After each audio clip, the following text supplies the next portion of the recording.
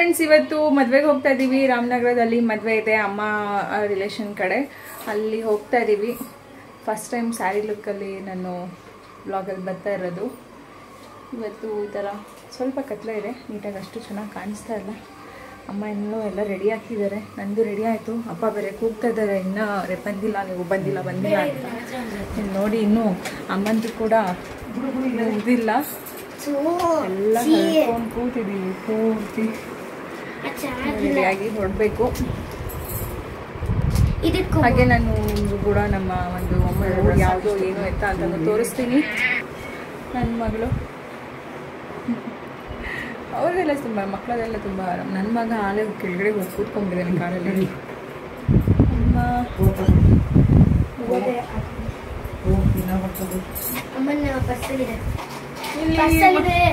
ಹಾಗೆ ಅಮ್ಮ ಇನ್ನೂ ರೆಡಿ ಆಗೋದ್ರಲ್ಲೇ ಇದ್ದಾರೆ ಬನ್ನಿ ಹೋಗ್ತಾ ಹಾಗೆ.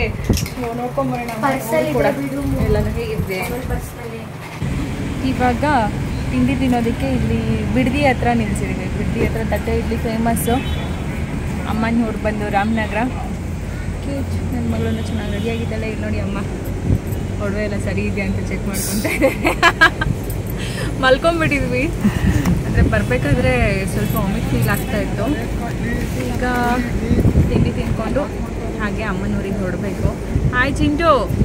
ಹಾಯ್ ಮಾಡಿ.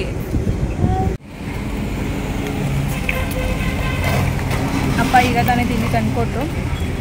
ನಾವೆಲ್ಲ ಕಾರಲ್ಲೇ ಕೂತಿದ್ದೀವಿ ಅವ್ರ ಕೆಳಗೆ ಇಳಿದಿಲ್ಲ ತುಂಬ ರಶ್ ಇರೋರಲ್ಲೂ ಕೂಡ. ನೋಡಿ. ಅವ್ರು ಇಲ್ಲೇ ಕೂತ್ಕೊಂಡು ತಿಂತಾ ಇದ್ದಾರೆ. ಇಲ್ಲಿ ಅಮ್ಮ ಲೈಟಾಗೆ ಬ್ರೇಕ್ಫಾಸ್ಟ್ ಮಾಡ್ಕೊತಾ ಇದ್ದೀವಿ. ಲೈಟಾಗೆ ಇಡ್ಲಿ ವಡೆ ತಿಂತಾ ಇದ್ದೀವಿ. ಮತ್ತಲ್ಲಿ ಮಧ್ಯಾಹ್ನ ಊಟಕ್ಕೆಲ್ಲ ಟೈಮ್ ಆಗಿದೆ ಈಗಲೇ ಟಿಶ್ಯೂ ಪೇಪರ್ ಇರಬೇಕು ಏಕೆ ಚಲ್ದ್ಯಾ ಆಯ್ತು ನಿಂತೀನಿ ಆಮೇಲೆ ಓದ್ಕೊಂಡ್ರೆ ತಮ್ಮ ಏನೋ ಹೇಳ್ತಾ ಇದ್ದಾರೆ ಕೇಳಿಸಿ ಏನು ಇಲ್ಲ ಕಣಪ್ಪ ತ ಬಿಡ್ದಿ ತಟ್ಟೆ ಇಡ್ಲಿ ಫೇಮಸ್ಸು ನಾವು ಯಾವಾಗ ಬಂದರೂ ಬಿಡ್ದಿ ತಟ್ಟೆ ಇಡ್ಲಿ ತಿಂದೇ ಹೋಗೋದು. ಎಲ್ಲೇ ಹೋಗ್ಬೇಕಾದ್ರು. ಅದು ಇನ್ನೊಂದು ಏನಂದ್ರೆ ನಾವ್ ಎಲ್ಲಿ ಕೂತಿರ್ತೀವಿ ಅಲ್ಲೇ ನಮ್ಮಪ್ಪ ತಂದ್ಕೊಡ್ತಾರೆ. ನಮ್ಮನ್ ಕೆಳಗಡೆ ಇಳಿಸಲ್ಲ ಅದೇ ಮೇನ್ ಪ್ರಾಬ್ಲಮ್ ನಮ್ಮಪ್ಪಂದು. ಈಗ ತಿಂಡಿ ಎಲ್ಲ ತಿಂದಿದ್ದಾಯಿತು. ತಿಂಡಿ ಮುಗಿಸಿ ಈಗ ಹೊರಟಿದ್ದೀವಿ ರಾಮನಗರ ಅಂದ್ರೆ ಬೆಟ್ಟ ಗುಡ್ಡಗಳು ಜಾಸ್ತಿ ಕಾಣಿಸುತ್ತೆ ನಿಮಗೆ. ನೋಡ್ತಾ ಇರ್ಬೋದು. ಇದು ದೇವಸ್ಥಾನ ಬಂದು ಲಕ್ಷ್ಮೀ ವೆಂಕಟೇಶ್ವರ ದೇವಸ್ಥಾನದಲ್ಲಿ ಮದುವೆ ಇಟ್ಕೊಂಡಿದ್ದಾರೆ. ಅಂದರೆ ದೇವಸ್ಥಾನದಲ್ಲೇ ಮದುವೆ ಮಾಡ್ತಿದ್ದಾರೆ. ತುಂಬ ಜನನೆಲ್ಲ ಏನು ಕರೆದಿಲ್ಲ. ಫ್ಯಾಮಿಲಿ ಫ್ಯಾಮಿಲಿ ಸೇರ್ಕೊಂಡು ಮದುವೆ ಮಾಡ್ತಾ ಇರೋದು. ಹೀಗೆಲ್ಲ ಕೋವಿಡ್, ಕೊರೋನಾ ಅನ್ನೋದ್ರಿಂದ ಭಯ ಜಾಸ್ತಿ ಆಗಿರೋದ್ರಿಂದ ಸಿಂಪಲ್ ಆಗೇ ನಾವು ನಾವೇ ಫ್ಯಾಮಿಲಿ ಮದುವೆ ಮಾಡ್ತಾ ಇರೋದು. ಫ್ಯಾಮಿಲಿಯಲ್ಲೇ ಸೇರಿಕೊಂಡು ಮದುವೆ ಮಾಡಿ, ಮಾಡ್ತಾ ಇರೋದು. ಅದರಿಂದ ದೇವಸ್ಥಾನದಲ್ಲಿ ಮದುವೆ ಇಟ್ಕೊಂಡಿದ್ರು. ಅಂದರೆ ದೇವಸ್ಥಾನ ಅಂತ ಹೇಳಿದ್ರು ಇದು ತುಂಬ ದೊಡ್ಡದಾಗಿದೆ. ದೇವಸ್ಥಾನನೂ ಕೂಡ ಹೊರಗಡೆ ಎಲ್ಲ ಸುಖತ್ತು ದೊಡ್ಡದಾಗಿದೆ ಜಾಗ. ನಾ ಒಳಗಡೆ ತೋರಿಸ್ತಾ ಇದ್ದೀನಿ ದೇವಸ್ಥಾನ ಎಲ್ಲ ಯಾವ ರೀತಿ ಇದೆ ಅಂತ. ಹಾಗೆ ನನ್ನ ಮಕ್ಕಳು ಗಂಟೆ ಬಸೋದಕ್ಕೆ ತುಂಬ ಕಷ್ಟಪಡ್ತಾ ಇದ್ದಾರೆ. ಇಲ್ಲಿ ಅಮ್ಮ, ಫ್ಯಾಮಿಲಿ ಜೊತೆ ಎಲ್ಲ ಮಾತಾಡ್ತಾ ಇದ್ದಾರೆ. ಈಗ ಹೊರಗಡೆ ಕೂಡ ಹುಡುಗ ಹುಡುಗಿಗೆ ಶಾಸ್ತ್ರ ಎಲ್ಲ ನಡೀತಾ ಇತ್ತು. ಅವ್ರದ್ದು ಮದುವೆದು ಶಾಸ್ತ್ರ ನಮ್ಮಲ್ಲಿ ಗೌಡ್ರ ಕಡೆ ಯಾವ ರೀತಿ ಒಂದು ಶಾಸ್ತ್ರ ಸಂಪ್ರದಾಯ ಇರುತ್ತೆ ಆ ರೀತಿ ಒಂದು ಮದುವೆ ಶಾಸ್ತ್ರ ಸಂಪ್ರದಾಯ ಆಗ್ತಾಯಿತ್ತು ಅಮ್ಮನೂ ಕೂಡ ಕೆಲವೊಂದು ಶಾಸ್ತ್ರನ ಮಾಡಿದರು. ನಾವು ಹೋಗಿದ್ದು ಸ್ವಲ್ಪ ಲೇಟೇ ಆಯಿತು.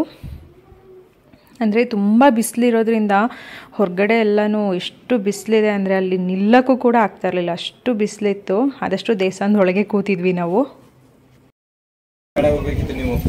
ಅಮ್ಮ ನೀನು ಆ ಕಡೆ ಹೋಗುಮ್ಮ ಹಾಂ ನಾವೇನು ಹುಡ್ಗ ಹುಡ್ಗಿಗ್ ನೀವು ಮುಂದೆ ಸ್ವಲ್ಪ ಸರ್ ನೀವು ಹಿಂದೆ ಸ್ವಲ್ಪ ಕೂತ್ಕೊಳ್ಳಿ. ಸುಡ್ತಾಯ್ತಾ? ಏನು ಹೊಸಿ ಸುಡುತ್ತೆ ಅನ್ಕೊಂಡಿದ್ರು ಹುಡುಗ ಹುಡುಗಿಗೆ ಸುಡಲ್ವಾ ಅಂತ ಕೇಳ್ತಾ ಇದ್ರು. ಅವ್ರು ಸೀರಿಯಲ್ ಇದಾರೆ ಎಲ್ಲಿ ಗೊತ್ತಾಗತ್ತೆ ಸುಡೋದು? ಅವಾಗಲೇ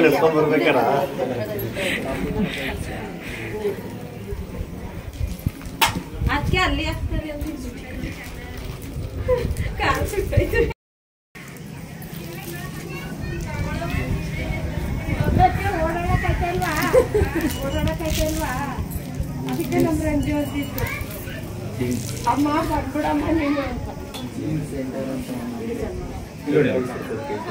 ಸೈಡ್ ನೋಡ್ತೀರಾ? ಅಲ್ಲಿ? ಇಟ್ಕೊಳ್ಳಿ ಅಲ್ಲಿ ಇಟ್ಕೊಳ್ಳಿ. ಇಟ್ಕೊಳ್ಳಿ, ಅಲ್ಲಿ ಇಟ್ಕೊಳ್ಳಿ. ಹಾಂ ಇಲ್ಲಿ ನೋಡಿ.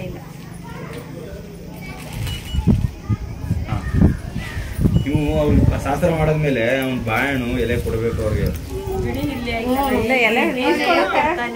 ಶಾಸ್ತ್ರ ಅಲ್ವಾ? ನಮಗೂ ಕೊಡಕ್ಕೆ. ಊಟ ಆದ್ಮೇಲೆ ಎಲೆ ಅಡಿಕೆ ಹಾಕೊಂಡು ಹೋಗಿ ಅಂತ. ಕೊಡಿ ಸರ್ ಇಬ್ರಲ್ಲಿ ಮಾಮೂಲಿ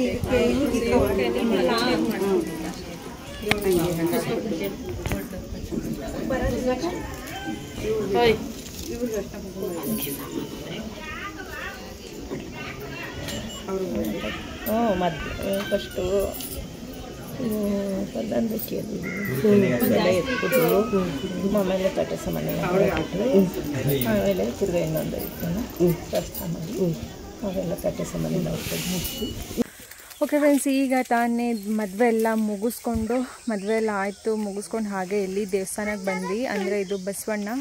ಕಲ್ಲು ಬಸವಣ್ಣ ಇದು ಏನಂತ ಹೇಳ್ತಾರೆ ಅಮ್ಮ? ಎಷ್ಟು ವರ್ಷದಿಂದ ಇದೆ ಅಮ್ಮ? ಇದು ನನಗೆ ಐವತ್ತು ವರ್ಷ ಅಂದರೆ ಹೇಳ್ತಾರೆ ನೋಡಿ. ಹಾಂ. ನನಗೆ ಐವತ್ತು ವರ್ಷ ಅಂದರೆ ನಾನು ಕಂಡು ತಂದು ನಿಮಗೆ ಬಸವಣ್ಣ. ಅದು ಮುಂಚೆ ಎಷ್ಟು ವರ್ಷ ಆಗಿದೆಯಾ? ಸುಮಾರು ವರ್ಷ. ಗುಡಿ ಕಟ್ಟಿಸ್ಕೊಳ್ಳಲ್ಲ ಅವನು. ಏನೇ ಮಾಡಿದ್ರು ಗುಡಿ ಕಟ್ಟಿಸ್ಕೊಳ್ಳಲ್ಲ ಬಿಸಿಲಲ್ಲಿ ಒಣಗಬೇಕು ಮಳೆಯಲ್ಲಿ ನೆನೆಬೇಕು ಅಂತ ಉತ್ತವನು ಬಸವಣ್ಣ ಈಗ ಇಲ್ಲಿ ಅಮ್ಮ ಪೂಜೆ ಮಾಡ್ತಿದ್ದಾರೆ. ಇಲ್ಲಿ ಯಾವುದೇ ಕಾರಣಕ್ಕೂ ಈ ಒಂದು ದೇವಸ್ಥಾನಕ್ಕೆ ಗುಡಿ ಇಲ್ಲ. ಬರೀ ಹೀಗೆ.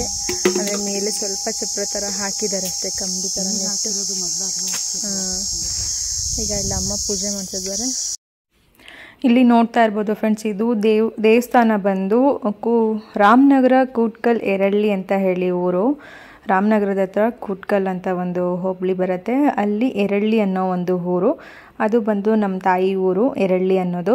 ಇಲ್ಲಿ ಒಂದು ಸುತ್ತ ತೋಟ ಥರನೂ ಇದೆ, ಸ್ವಲ್ಪ ಕಾಡಿನ ಥರನೂ ಇದೆ, ಸ್ವಲ್ಪ ತೋಟ ಥರನೂ ಇದೆ. ಮಧ್ಯದಲ್ಲಿ ನಿಮಗೆ ಒಂದು ಬಸವಣ್ಣನದು ವಿಗ್ರಹ ಅಂದರೆ ಏನು ಕಲ್ಲು ಬಸವಣ್ಣ ಇದೆ ಇದು.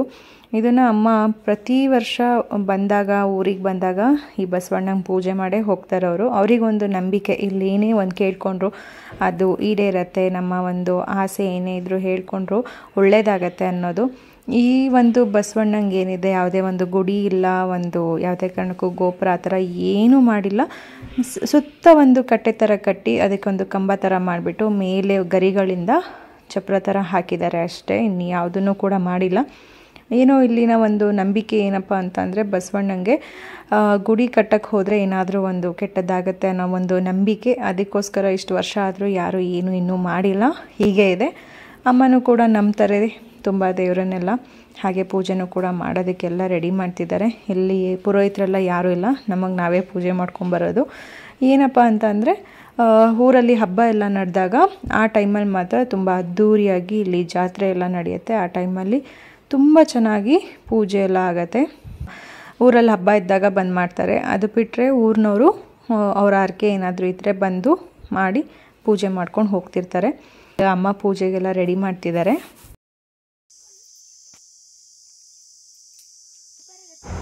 ಬೆಂಗಳೂರು ಒಳಗಡೆ ಮನೆಯೊಳಗೆ ಇದ್ದಿದ್ದು ಮಕ್ಕಳಿಗೆ ಈ ರೀತಿ ಹೊರಗಡೆ ಬಂದಾಗ ಅವ್ರಿಗೆ ಏನೋ ಒಂದು ಖುಷಿ. ಇಲ್ಲಿ ನೋಡಿ ನನ್ನ ಮಗ ಯಾವ ರೀತಿ ಮರ ಎಲ್ಲ ಹೇಗೆ ಹತ್ತುತ್ತಾ ಇದ್ದಾನೆ ಅಂತ. ಅವನಿಗಂತೂ ದರ ಕೈಕಲ್ಲಿ ಕಟ್ಟಾಗ್ದಂಗೆ ಆಗೋಗ್ಬಿಡುತ್ತೆ ಬೆಂಗಳೂರು ಅಂತ ಅಂದರೆ ಅದೇ ಊರ ಕಡೆ ಅಂದರೆ ಏನು ಖುಷಿ ಅಂತೀರೋ ಅವ್ನ ಸೀರಿ, ಅವ್ನ ಖುಷಿಗೆ ಒಂದು ಹೇಳೋಕ್ಕೆ ಅಸಾಧ್ಯ ಅಂತ ಹೇಳ್ಬೋದು. ಅಷ್ಟು ಖುಷಿ ಪಡ್ತಾನೆ ಅಷ್ಟು ಚೆನ್ನಾಗಿ ಆಟಾಡ್ತಿದ್ದಾನೆ ಇದೇ ಥರ ಎಲ್ಲ ಮಕ್ಕಳಿಗೆಲ್ಲ ಇದ್ದರೆ ಎಷ್ಟು ಚಂದ ಅಲ್ಲ. ಈ ಥರ ಇದ್ದರೆ ಮಕ್ಕಳು ಅಲ್ಲ, ಮೊಬೈಲು, ಕಂಪ್ಯೂಟರು, ಗೇಮ್ಸು ಅವ್ರು ಏನೂ ಇಷ್ಟಪಡೋದಿಲ್ಲ. ಈ ರೀತಿ ಕಾಡು ಬೆಟ್ಟ, ಗುಡ್ಡ ಇದ್ಬಿಟ್ರೆ ಅವ್ರಿಗೆ ಅದೆಲ್ಲ ಹೊಟ್ಟೆ ಹೋಗ್ಬಿಡುತ್ತೆ. ಇದೇ ರೀತಿ ಆಟ ಆಡ್ಕೊಂಡು ಚೆನ್ನಾಗಿದ್ಬಿಡ್ತಾರೆ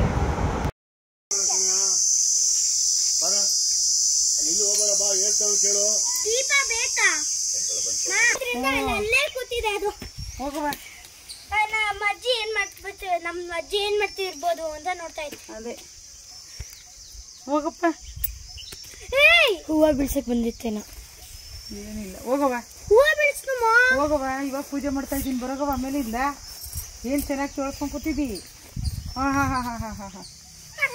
ಹೋಗಪ್ಪ. ನನಗೂ ಸೇಸ್ ಮಾಡು ಅಂತ ಬಂದಿರೋದಲ್ಲ. ಮೂರು ವರ್ಷ ಏನು ಮಾಡ್ಕೊಳ್ಳೋದು? ಹೂವ ಕೆಳಗಡೆ ಬಿಡಿಸ್ತದು ಮೂರು ವರ್ಷ ತಾವಿಂದ? ಕೂತ್ಬಿಟ್ಟೆ ಬಂದ್ ಕೂತ್ಬಿಟ್ಟಿದ್ದಾನೆ. ಕಾಗೆರಾಯ. ಇಲ್ಲಿ?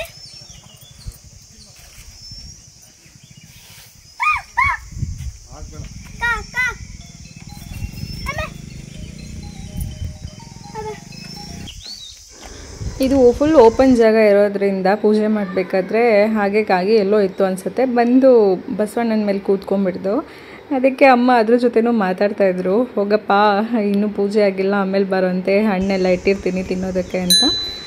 ಅದು ಆಮೇಲೆ ನನ್ನ ಮಗನ ಸೌಂಡಿಗೆ ಹಾರೋಯ್ತು ಕಾಗೆ. ಇವಾಗ ಅಮ್ಮ ತುಪ್ಪ ಎಲ್ಲ ಹಾಕಿ ದೀಪ ಹಚ್ತಿದ್ದಾರೆ. ನಾವು ಬರ್ತಾನೆ ತುಪ್ಪ ಎಲ್ಲ ತೊಗೊಂಬಂದಿದ್ವಿ. ತಂದು ದೀಪ ಹಚ್ಚಿ ಈಗ ಪೂಜೆ ಎಲ್ಲ ಮಾಡ್ತಿದ್ದಾರೆ. ನಾವು ಕೂಡ ಅಪ್ಪ, ನಾವು ಎಲ್ಲರೂ ಪೂಜೆ ಮಾಡಿದ್ವಿ. ಹಾಗೆ ಪೂಜೆ ಮುಗಿಸಿ ನೀನು ಹೊರಡ್ತೀವಿ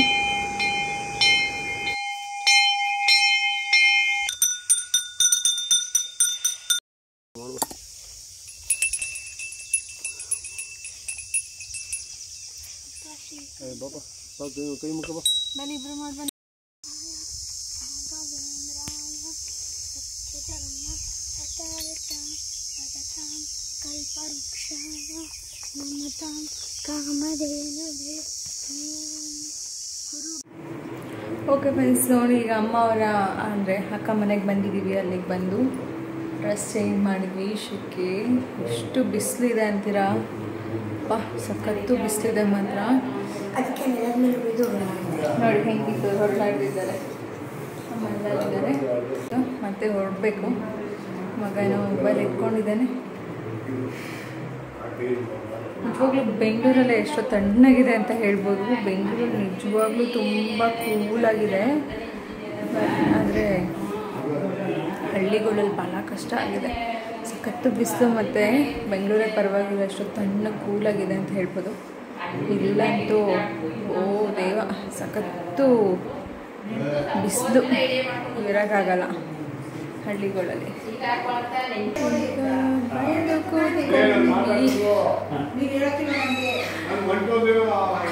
ಬಂದು ಕೂತ್ಕೊಂಡು ಅಮ್ಮ ಮನೇಲಿ ಅವ್ರು ತೋರಿಸ್ತೀನಿ ಏನೇನು ಮಾತುಕತೆ ನಡೀತಾ ಇದೆ ಅಂತ.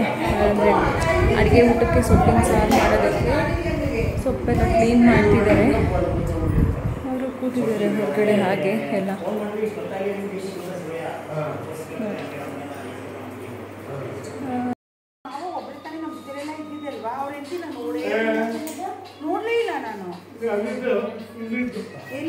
ಎಲ್ಲಿ ನೀವು ಹೇಳ್ಬೇಕು ಸೊಪ್ಪು ಕ್ಲೀನ್ ಮಾಡ್ತಾ ಇದ್ದಾರೆ. ಹೋಗಿ ನಾವು ಕಾರ ಹತ್ರ ಅವ್ರು ಹೇಳ್ತಾನೆ ಮಾವ.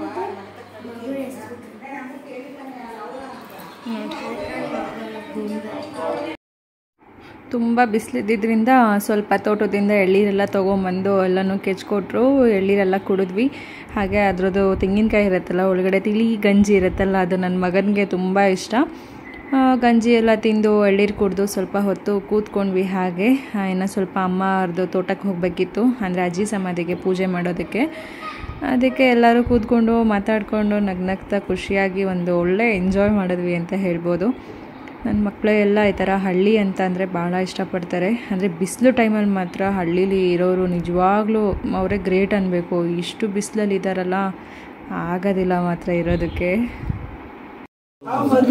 ಬೇಡ ಅಂತ ಇತ್ತು. ನಾನಿದೆ ಬಾವಾಗ ಅಂದ್ಬಿಟ್ಟು ಕರ್ಕೊಂಡು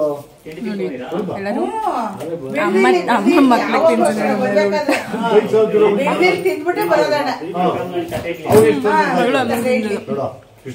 ಎಲ್ಲೇ ಮದ್ವೆ ಹೋಗ್ಲಿ ಊರ್ ಹೋಗ್ಲಿ ತಿಂದ್ಬಿಟ್ಟೆ ಹೋಗೋದು. ಅದೊಂದು ಅಭ್ಯಾಸ ಆಗ್ಬಿಟ್ಟದೆ. ಹೋಗಿದ್ದೀವಿ? ಊರಿಗೆ ಹೇಳಿ ಕಮೆಂಟ್ ಮಾಡಿ ಹೇಳಿ. ಒಂದಿನಕ್ಕೆಲ್ಲ ಕಪ್ಪಗೆ ಆಗಿರ್ತೀವಲ್ಲ ನಾವು ಚಾನ್ಸೇ ಇಲ್ಲ. ಅವನು ಗೋಲಿ ಇದ್ಬಿಡುವ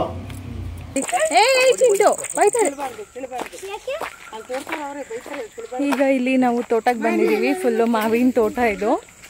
ಅಮ್ಮ ಅವ್ರದ್ದು ಊರು ಅಜ್ಜಿ ಇದು. ಅವ್ರು ಸತ್ತಾಗ ಹೂತಿದ್ರು. ಸಮಾಧಿ ಎಲ್ಲ ಕಟ್ಸಿಲ್ಲ ಸುಮ್ಮನೆ ಹಾಗೆ ಹೂತಿದ್ದಾರೆ.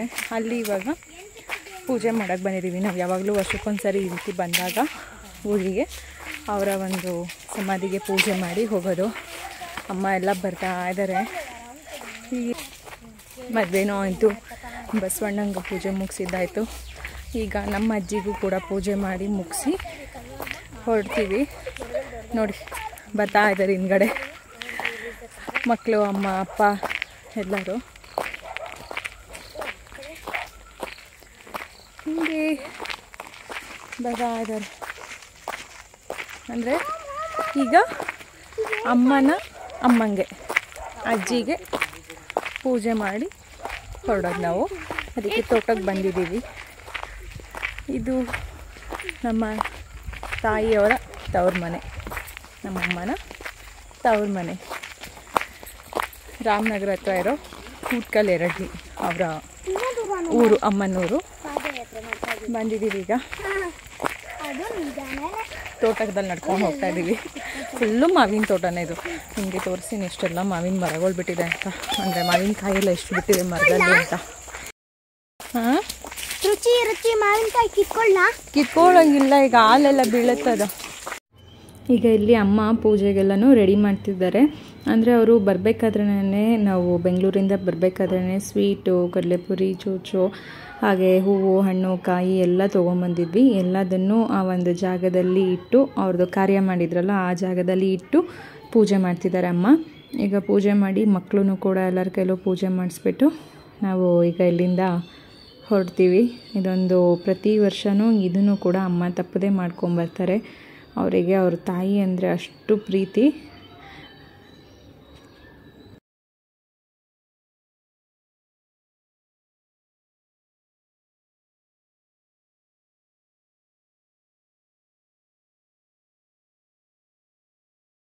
ಆಯ್ತು ಈಗ ಅಮ್ಮ ಮನೆ ಬಂದು ಇದ್ದು ಆಯಿತು, ಎಲ್ಲ ಉಳಿದಿದ್ದಾಯ್ತು, ಪೂಜೆ ಮಾಡಿದ್ದು, ದೇವಸ್ಥಾನ ಎಲ್ಲನೂ ಕೂಡ ಮುಗೀತು. ಇಲ್ಲಿಗೆ ಈ ವ್ಲಾಗ್ನ ಎಂಡ್ ಮಾಡ್ತಾ ಇದ್ದೀನಿ ಫ್ರೆಂಡ್ಸ್ ಅಮ್ಮ ಅಜ್ಜಿಗೆ ಪೂಜೆ ಮಾಡಿದರು, ಸ್ವಲ್ಪ ಫೀಲಿಂಗ್ ಆದರೂ ಅಳ್ತಾ ಇದ್ದಾರೆ.